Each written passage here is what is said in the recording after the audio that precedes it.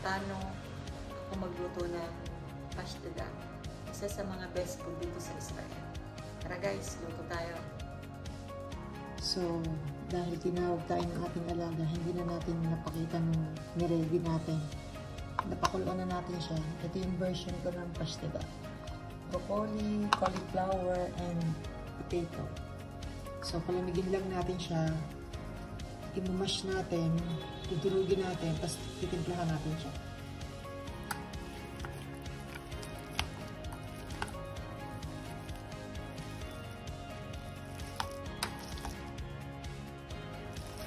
Ah, broccoli.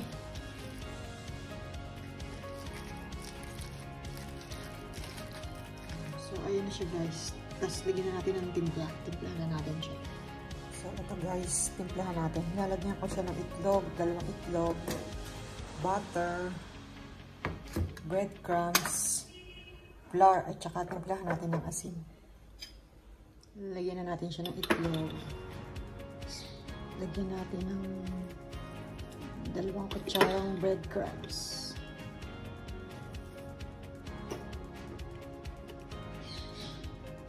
Dalawang kutsarang flour. Tapos, timplahan natin ng asin. Lagyan natin ng butter.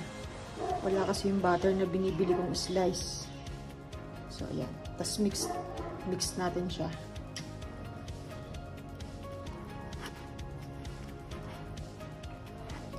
Mita!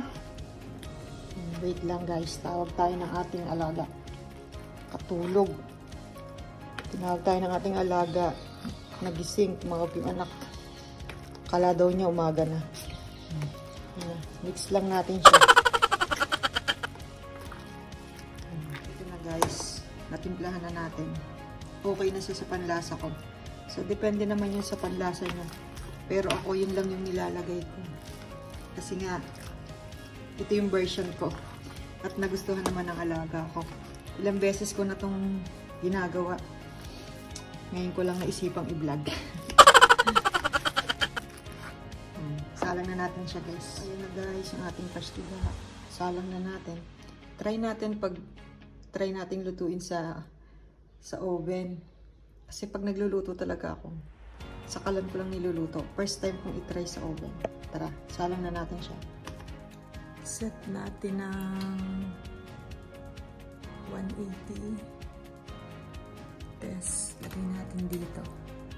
Tapos, hindi na natin minutsan. Kasi sabi ng alaga ko, pwede naman daw hindi ito. So, wag na natin. Check na lang natin siya palagi. Ayan na guys. Sinalang na natin.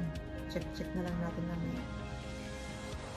So, after 30 minutes guys, eto na yung ginalabas siya ng pasta natin.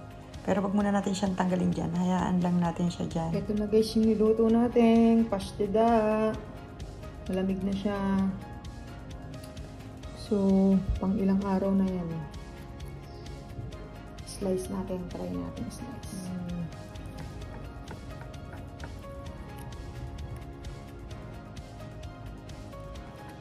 Mm.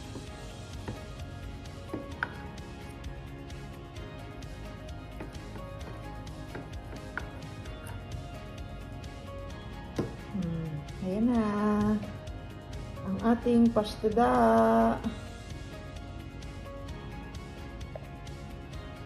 Thank you guys for watching. See you to my next vlog. Ito na guys. Ang ating pastada. Ayaw ng alaga ko na masyado siyang dry. Kaya mas gusto niya yung ganito. Ayaw niya niya toasted. Bagus guys.